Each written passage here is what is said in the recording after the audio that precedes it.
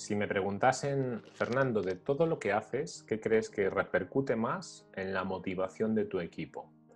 Es decir, ¿qué cosas que tú llevas a cabo en tu día a día mantiene esa motivación alta de cada una de las personas que componen tu equipo de trabajo o incluso consigue incrementarlo un poco más? Yo me quedaría sin lugar a dudas con un elemento muy práctico y es sencillo que lo lleves a cabo, que es cuando encomiendes una tarea individual es decir, una tarea específica, me refiero, habla habitualmente del propósito, de la finalidad o del objetivo final de esa tarea en concreto.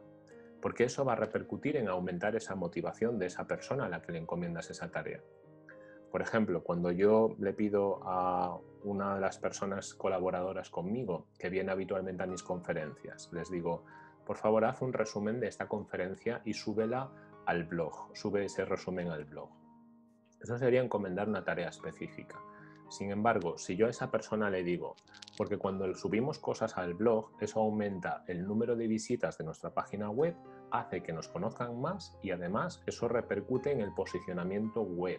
Cuanto más contenidos frescos, nuevos haya en nuestro blog, mejor posicionamiento va a tener nuestra página web y al final la posición que ocupe nuestra página web se relaciona directamente con el número de clientes o pacientes que tenemos en la consulta de psicología. Cuanto mejor posicionamos estamos, más clientes tenemos.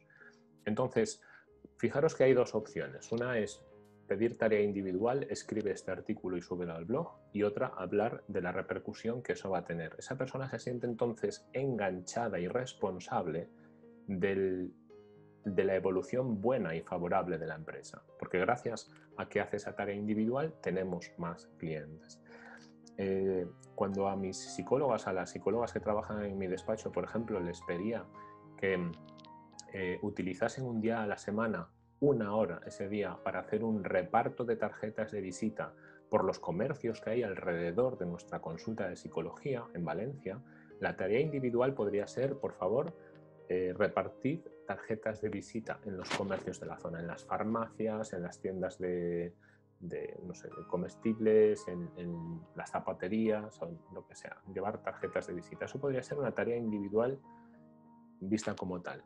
Eh, como buen líder o buena líder, debes completar esa solicitud de tarea diciendo el resultado que va a tener. Porque esto va a hacer, imaginaros, que de cada 20 sitios a los que entráis, nos sale de uno un paciente.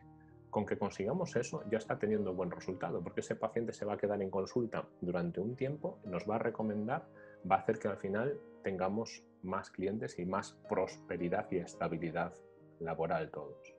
Entonces, cuando estás vinculando una tarea que es ir a un sitio y repartir tarjetas con prosperidad, estabilidad laboral, con éxito en definitiva, estás consiguiendo aumentar mucho la motivación de tu equipo. Entonces, a lo que te invito con este vídeo es a que te pares a pensar si tú ya lo haces y si no lo haces lo suficiente, que te plantees qué efectos podría tener en ti hablar habitualmente no solo de la tarea específica, sino también del resultado, el propósito o el objetivo que tiene esa tarea.